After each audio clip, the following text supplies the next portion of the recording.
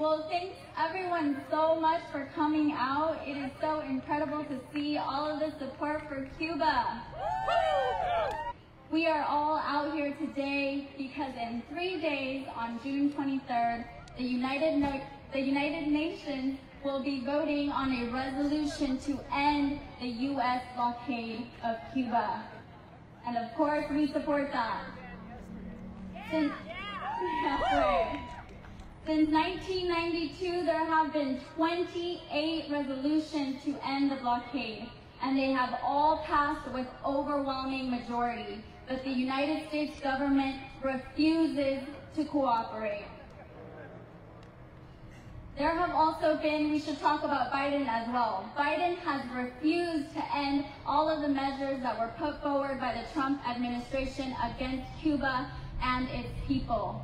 So we are here demanding that the U.S. finally put an end to this illegal and criminal blockade and that they pay attention to the wishes of the international community. So the first speaker is Nesbitt Crutchfield. he is the National Coordinating Committee of the Venceremos Brigade and the Saving Lives campaign.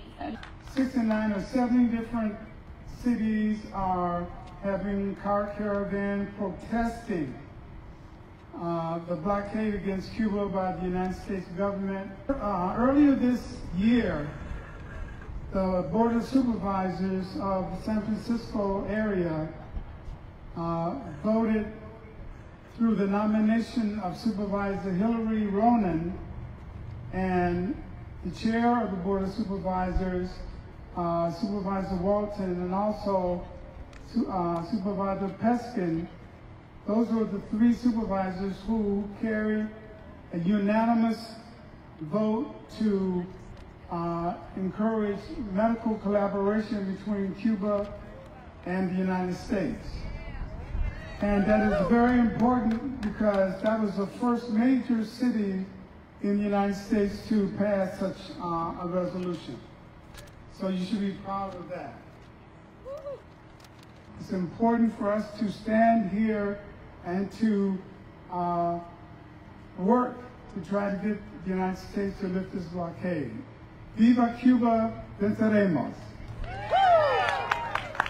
So our final speaker, speaker will be Nick Pardee. He is with the Cuba and Venezuela Solidarity Committee.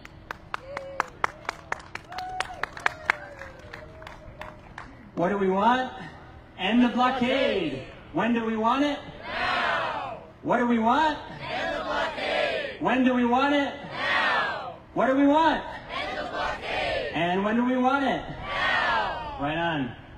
So this week, President Biden stood in front of reporters and news cameras and offered these words of really imperial projection. He said, um, let's get this straight.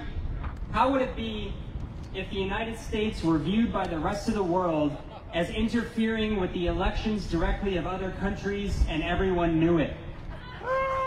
It diminishes the standing of a country that is desperately trying to make sure it maintains its standing as a major world power. Hmm, how would it be?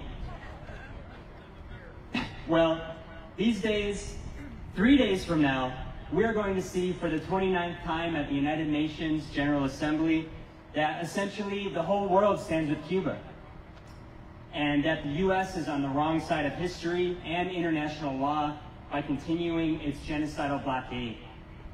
The U.S. hasn't just been interfering with other countries' elections, it's been deliberately causing hardship and scarcity on the people of other countries to try and force those governments under the boot of the U.S. empire. Does the U.S. speak for us when it votes to continue the blockade of Cuba every year? No! No. We're here today to say that there's a growing number of people from within the United States who want the blockade to end, who want all U.S. wars, aggressions, and sanctions across the world to end. So again, what do we want? End the blockade! When do we want it? Now! What do we want? End the blockade! When do we want it? Now! All right, let's get going.